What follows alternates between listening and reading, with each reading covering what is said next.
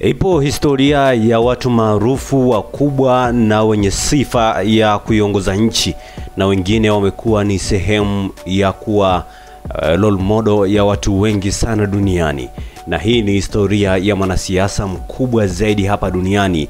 Huyu si mwingine ni Godbless Lema. Karibu sana kwenye Baharia TV. Mimi naitwa Ezekia Mtewele kutokea hapa Baharia TV. Usisahau kusubscribe, kulike, kushare pamoja na kucomment.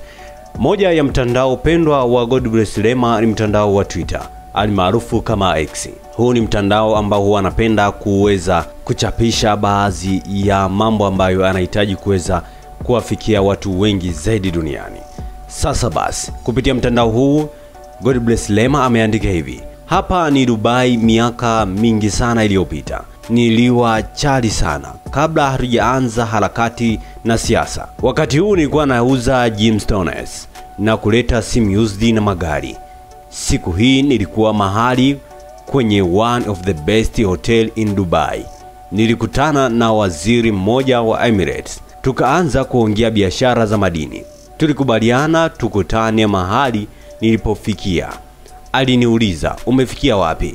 Nikamtajia hoteli moja five star ambayo kiukweli sikuwa nimefikia hapo, ila ni laizi standard. Ilikuwa kutengeneza imani ya kibiashara iliyokuwa nafanya, lakini ukweli nilikuwa nafikia kwenye budget hoteli.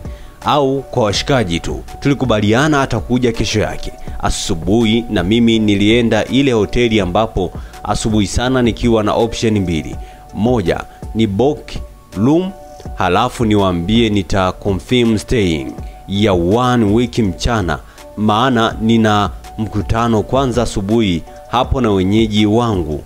Nikataja option ya yule mtu wa jina lake, nikawaambia nitakuwa pale restaurant na kunywa kahawa, kwa hiyo akija kuniulizia basi wamwelekeze nilipo. Pia nilikuwa na option ya pili, lakini ilitegemea hii ya kwanza kufedi.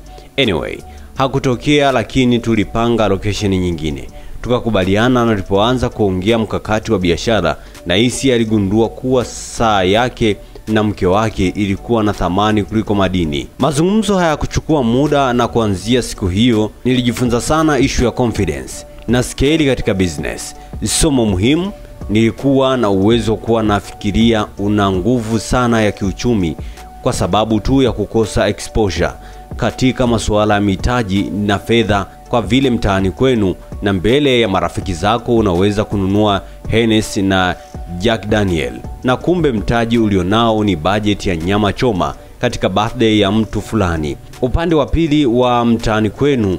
Kwa hiyo kama unafanya biashara, ni muhimu sana kujua au kuwa na ufahamu wa skeli na spidi, kwa maana kuna wakati unaweza kupresent dili kwa mbwembwe, kumbe mtaji unaotaka waingize ni posho ya mwezi ya hao unaowaingizia. Ninashauri usome kitabu kinaitwa Scale at Speed, na hapa ni kabla wabunge hawajaenda kukutana na DP World. Kupitia mtandao wa Twitter, hiki ndicho ambacho alikuwa amekiandika God bless Lema kwa kile ambacho yeye amekiona ni sahihi kuweza kuwafahamisha wale wote ambao wameweza kukata tamaa, akawaambia never say never, impossible is nothing. Huu ndio ujumbe wa mwisho ambao alikuwa ameandika Godbless Lema kupitia mtandao wake wa Twitter. Mimi naitwa Ezekia Mtewele kutokea hapa bahari ya TV.